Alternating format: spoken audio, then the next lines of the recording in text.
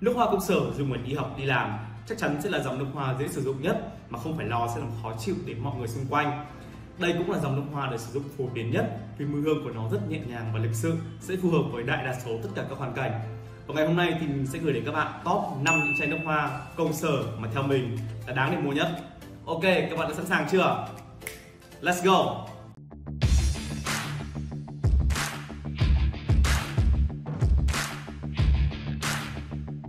Việt Dũng xin chào mừng các bạn đã quay trở lại với kênh của Mèo Con Say Sữa. Và nếu các bạn chưa biết thì mình là về nước hoa, fashion, hairstyle và những thứ liên quan đến đời sống.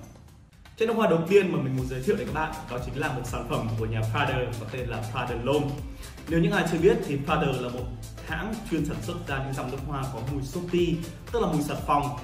Và Prada L'Homme có thể nói là một trong những chai nước hoa thành công nhất của hãng cũng mang đặc trưng của nhà Prada. Thì Prada L'Homme có mùi giống như là khi mà bạn vừa bước ra từ nhà tắm vậy. Một mùi hương rất là nhẹ nhàng và dễ chịu. Thành phần chính của Prada L'Homme là hoa phong lữ, hoa diên vĩ và gỗ tuyết tùng.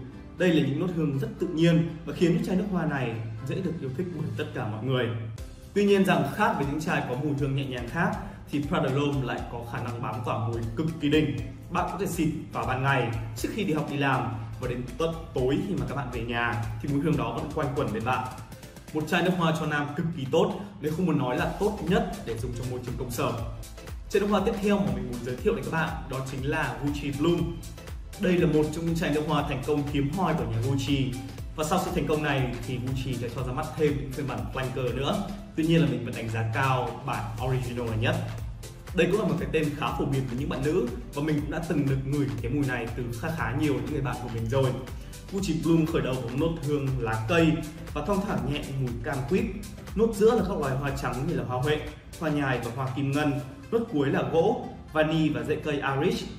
Nhưng nổi bật lên nhất là những nốt hương hoa trắng nhẹ nhàng và có chút vani ngọt ngào. Gucci Bloom sẽ cho bạn cái cảm giác của một cô nàng tiểu thư mới lớn ở độ tuổi 18 đôi mươi. Vì thế đây là một sự lựa chọn hoàn hảo cho những chị em nào có phong cách bánh bèo một chút. Ở vị trí tiếp theo thì mình muốn gọi tên King of Fragrance, ông hoàng trong giới nước hoa và là chai nước hoa được nhiều người quan tâm nhất. Đó chính là Creed Aventus. Nhà Creed thì từ lâu đã được biết đến với việc sản xuất ra những chai nước hoa niche có mức giá khá là cao. Tuy nhiên đổi lại thì chất lượng mùi hương cũng vô cùng đáng đồng tiền mắt gạo. Và Creed Aventus chính là chai nước hoa nổi tiếng và thành công nhất của hãng ở trên mọi phương diện.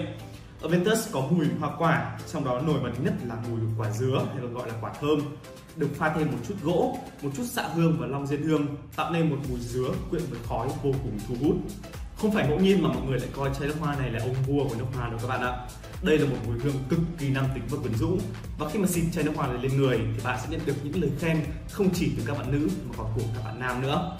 Mặc dù Creed Aventus cũng là một chai nước hoa khá là đa dụng và có thể sử dụng được trong nhiều trường hợp khác nhau nhưng mình nghĩ rằng cái mùi hương này sẽ phù hợp nhất trong môi trường văn phòng và nó sẽ phù hợp với những anh chàng nào đang theo đuổi phong cách trưởng thành và chín chắn một chút.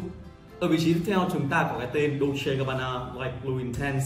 Lý do mà mình chọn bản Intense chứ không phải bản Original vì ở bản Intense này cái độ bám tỏa hương đã được cải thiện một cách rất đáng kể. Light Blue Intense có mùi hương của táo và chanh mở đầu, ở giữa là các loài hoa và kết thúc bằng xạ hương và hổ phách. Đây là một sự lựa chọn cực kỳ chất lượng cho những bạn nữ vì mùi hương của em nó có sự tươi mát và chua nhẹ của hoa quả, có sự gợi cảm của hoa nhài và hoa kim ngân và cũng có sự ấm áp ở những nốt hương cuối với xạ hương và hổ phách nữa. Đây cũng là chai nước hoa sẽ giúp cho các chị em có thể nhận được rất nhiều những lời khen ngợi từ những đồng nghiệp xung quanh. Vì thế nên mình highly recommend các chị em hãy trải nghiệm qua chai nước hoa này. Cái tên cuối cùng trong danh sách sẽ là một chai nước hoa của nhà Lacoste có tên gọi là Lacoste White.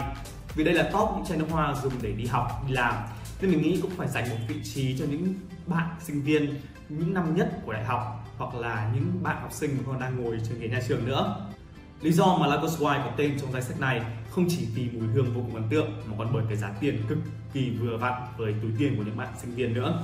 Bạn chỉ cần bỏ ra chưa đến một triệu là đã có thể sở hữu cho mình một phiên bản khoảng 100ml rồi. Lagos Wine có tông mùi chính là mùi quả bưởi, các loại hoa cỏ, gỗ tuyết tùng và cả da thuộc nữa. Đây là một mùi hương khá nhẹ nhàng và lịch sự và mình nghĩ rằng nó sẽ phù hợp cho những bạn học sinh cấp 3 hoặc là sinh viên đại học những năm đầu. Có bạn nào mà lớn hơn một chút, thích phong cách đơn giản, không quá cầu kỳ thì cũng có thể thử qua chai này. Vừa rồi là top 5 những chai nước hoa văn phòng và theo mình là đáng để trải nghiệm nhất. Các bạn có đồng ý với sách này không?